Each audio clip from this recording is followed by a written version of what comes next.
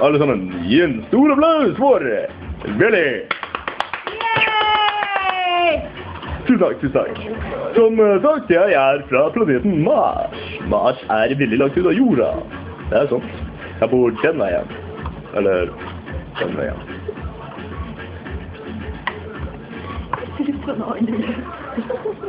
Vel, eh, jeg kommer til jorden for å ta over menneskeheten. Jepp, du hørte riktig. Lille meg, Salverten. Ha-ha, morsom. Hører jeg prating far? Ypper du deg mot alien fra Mars? Når jeg forteller at jeg er fra Mars, så springer alle som er Men jeg kommer ikke i fred. Taper alle sammen. Ingen kan stoppe meg.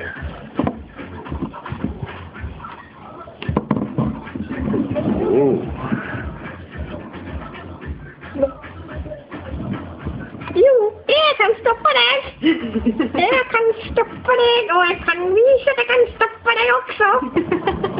Hva faen var det? Det kan ikke være mennesker. Grål! Jeg ble ikke redd. Jeg ble definitivt ikke redd.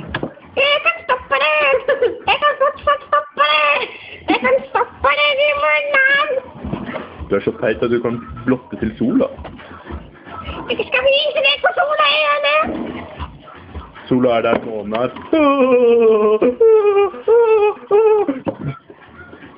Riktig. Så bare back off, bitch. Ingen vet hvor store krefter jeg har. Jeg kan forandre jorda til grus! Jeg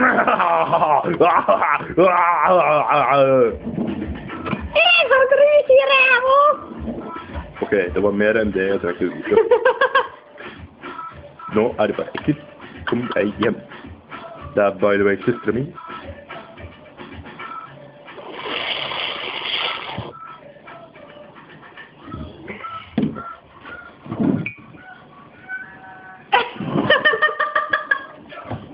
Altså, dette er min video, så jeg skal vise til hele verden, og dere kan ikke komme og ødelegge den.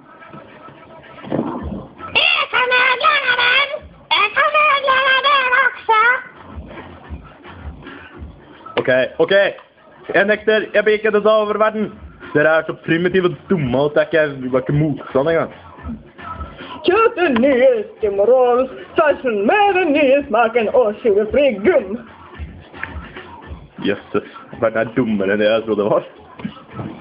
Du har reklame i filmen din, og jeg kan stoppe den!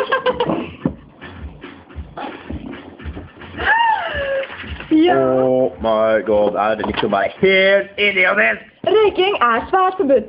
Blant unge mennesker i dag har røykingen stoppet 4000 mennesker fra å få unger. Vær forsiktig og slutt å røyke. Er du ikke riktig klok? Jeg kan stoppe deg. Hvorfor meg? Hvorfor meg? Hvorfor meg? Det går ikke. Å, nå begynner favorittsangen min.